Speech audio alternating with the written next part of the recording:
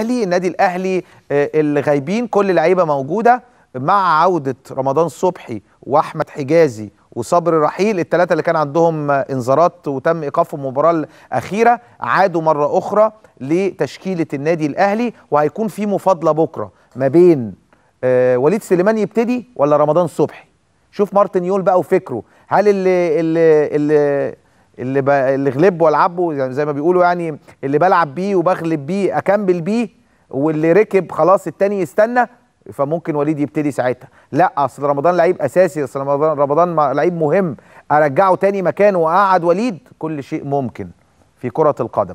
لكن الأقرب للتشكيل الماتش آه، وادي دجلة هو نفس التشكيل اللي لعب بيه الماتش اللي فات. يعني ممكن رمضان يقعد على دكة البدلاء ما يبتديش بيه.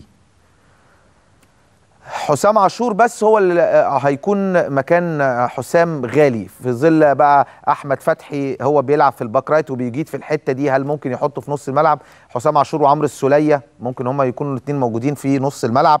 ده اللي هنشوفه إن شاء الله بإذن الله الماتش اللي جاي. حسام غالي مش موجود أحمد الشيخ عنده نزلة برد شديدة آه، مش موجود آه، جون أنطوي موجود ولكن النادي الأهلي جايب حوالي 22 لاعب يعني في أكتر من أربع لعيبة بما فيهم حارس مرمى يعني ثلاث لعيبة وحارس مرمى هيطلعوا بره القايمة آه، آه، استعدادا لمباراة وادي دجلة. وأنتم عارفين إن وادي دجلة هيفتقد أيضا نجمه وهدافه ستانلي بعد ما تم طرده المباراة اللي فاتت أمام آه، سموحة.